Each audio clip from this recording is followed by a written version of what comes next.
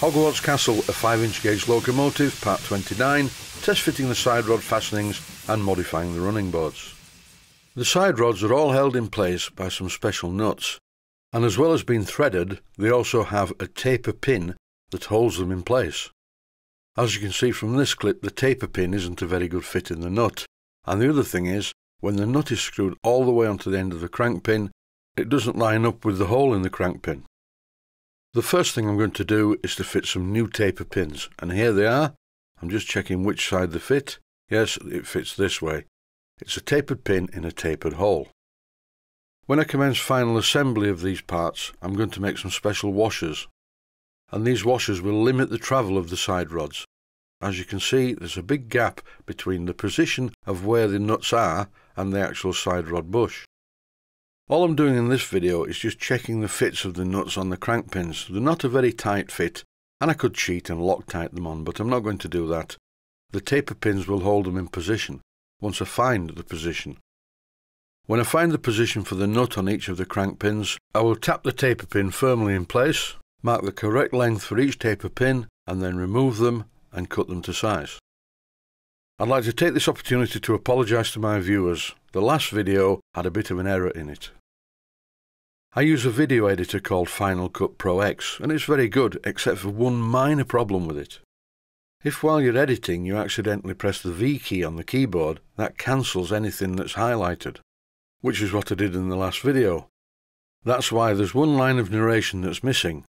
Anyway, I fixed it but I didn't re-upload the video because I would have spent the rest of the day replying to viewers and explaining why the original video had disappeared and a new one was in its place. Anyway, it's on with the show. I'm going to modify the running boards because I don't like this arrangement. The running boards actually split over the cylinders, so if you wanted to do any work on the cylinders, you would have to take off the entire running board and the cab, etc. I'm going to shorten both of the running boards and put a piece in from about here to the front. I put the first pencil mark in the wrong place. This is where the cylinder ends. I need to put the mark a little bit further back. That's because I need to fit a support plate and I didn't want the cylinder to get in the way.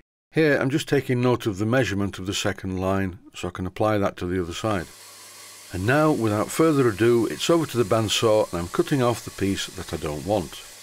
Although I'm only showing cutting one side, I cut both sides on the bandsaw.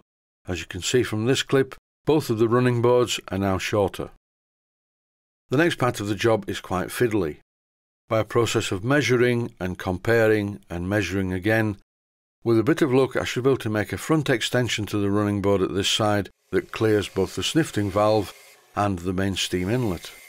This is very thin steel, so I didn't want to risk damaging it by putting it in the milling machine and milling across it. I could have held a sandwich of thicker steel plate and the thinner steel plate in the milling machine, but I prefer to do it this way because it's good practice and you'll see what I'm doing as we go along. I constantly get comments from so-called experts who watch my videos. Once again, these videos are designed for beginners. The experts tell me, well, I wouldn't do it that way, I'd do it this way and I'd do it that way, but I'm doing it this way because it's good practice for a beginner to learn how to use a file. Here's a piece of metal in the vise in the outer part of the workshop and I'm using a round file to round off the bottom of the slot. I'm doing something wrong here on purpose. I have the piece of steel too far out of the vise, so it's making a horrible squealing noise. When you do jobs like this on thin metal, make sure that the piece of metal is as low in the vise as you can get it. And also, you will notice that the vise jaws have a couple of pieces of brass angle fitted, this is just to prevent the vice jaws from making marks on the steel. In this clip I'm using quite a fine flat file to remove the saw marks from the edges of the slot.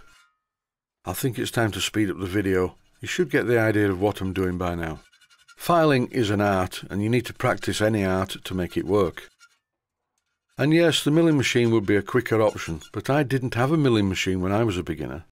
Besides, by using the saw and file method, a very similar result is obtained. The part fits perfectly. Now it's time to make a large hole in the centre of this piece of steel to accommodate the main steam inlet pipe at this side. I'm arriving at the position of this specially shaped piece of the casting by just measuring and comparing. These are stepped hole cutters, very useful things to have in the workshop. And I'm going to use the largest one to drill a hole the correct diameter in the piece of steel hopefully in the right place to accommodate the main steam pipe. It's better to use oil when doing this job, but for the purposes of the video I didn't bother, because underneath the steel plate is a piece of mahogany. That's what the brown stuff is. Plus this small piece of steel plate isn't very thick and the cutter is going through it very easily. When I put too much pressure on, the chuck stops because the drilling machine belts are always left slack, and this often saves snapping off small drills. Here's the finished product over the hole, and it's very good, it's near enough for rock and roll anyway. In this clip I'm marking the position where I need to cut the piece of steel, and once I cut this it will be the same length as the piece of metal at the front of the smoke box. I've made two of these. They are steel plates that I intend to rivet under the longest part of the running board to support the short part over the cylinder, which will be held in place by a couple of short countersunk bolts. When I clamp everything together using a spring clamp, as you can see, it looks quite good. In this clip, I've also clamped in place the side valence. Underneath the running board at this side, there's a lever that operates the drain cocks. At this side only, I will need to shorten the piece of metal that I cut to fit underneath because it's currently too long and it fouls the lever. Why didn't I make one for the other side in this episode? Well, to be honest, I did, but it didn't work out. I wasn't happy with it. So I need to go up to Blackgates Engineering and buy another piece of steel. And I'll get it right the second time. And that's it for this episode. Thanks for watching, and I hope you found it useful. Please take the time to visit my Mainsteam Models website. Click on the section of the website that says Video Playlists. And by doing that, you will find it very easy to find other videos that you may like to watch.